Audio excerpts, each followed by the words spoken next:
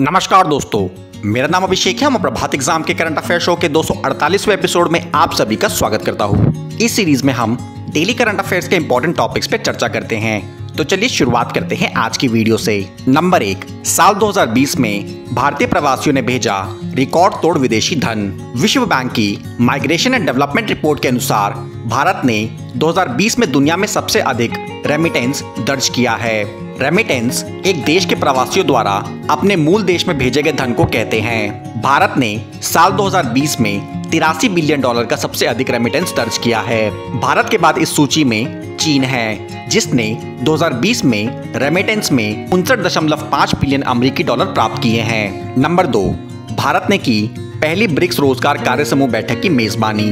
भारत ने इस वर्ष ब्रिक्स की अध्यक्षता ग्रहण की और नई दिल्ली में पहली बार ब्रिक्स रोज़गार कार्य समूह की बैठक की मेजबानी की। श्रम और रोज़गार सचिव अपूर्व चंद्रा ने इस कार्य समूह की बैठक की अध्यक्षता की। इस चर्चा का मुख्य एजेंडा ब्रिक्स राष्ट्रों के बीच सामाजिक सुरक्षा समझौते को बढ़ावा देना, श्रम बाजारों का औपचारिकरण करना, श्रम शक्ति में महिलाओं की भागीदारी बढ़ाना इत्यादि था। नंबर तीन, भारतीय मूल की विशेषज्ञ को मिला विश्व खाद्य पुरस्कार। भारतीय मूल की विशेषज्ञ डॉक्टर शकुंतला हर्क सिंह को हाल ही में विश्व खाद्य पुरस्कार से सम्मानित किया गया है। विश्व खाद्य पुरस्कार की स्थापना 1986 में नोबेल शांति पुरस्कार विजेता नॉर्मन बेरलॉग द्वारा की गई थी। इस पुरस्कार के पहले विजेता भारतीय कृषि वैज्ञानिक डॉक्टर एम एस स्वामीनाथन है। यह पुरस्कार वैश्विक स्तर पर भुखमरी को मिटाने के लिए किए जा रहे महत्वपूर्ण प्रयासों को चिन्हित करता है। डॉक्टर शकुंतला को यह पुरस्कार बांग्लादेश में छोटी देशी मछली प्रजातियों पर उनके शोध के लिए दिया गया है। नंबर चार मलेर कोटला होगा पंजाब का तेईसवा जिला। पंजाब सरकार ने मलेर कोटला को राज्य का नया जिला घोषित किया है। इस घोषणा के बाद अब राज्य में जिलों की संख्या 22 से बढ़कर 23 हो गई है। पंजाब के मुख्यमंत्री कैप्टन अमरिंदर सिंह ने ऐतिहासिक शहर मलेर कोटला का जिला घोषित करने के साथ विकास के लिए कई प्रोजेक्टों का भी ऐलान किया। मुख्यमंत्री ने यह ऐलान ईद उल फित्र के दिन किया। मलेरकोटला को जिला बनाने की स्थानीय लोगों की लंबी समय से मांग चल रही थी। नंबर पाँच तोकते चक्रवात। तोकते चक्रवात दो दशक में पश्चिमी तट पर आने वाला सबसे शक्तिशाली चक्रवात है। तोकते 2021 का पहला चक्रवात है। भारतीय मौसम विज्ञान विभाग ने भविष्यवाणी की है कि यह चक्रवात एक गंभीर चक्रवाती तूफ़ान में बदल जाएगा। तोकते चक्रवात भारत में साल 2021 में आने वाला पहला चक्रवात है।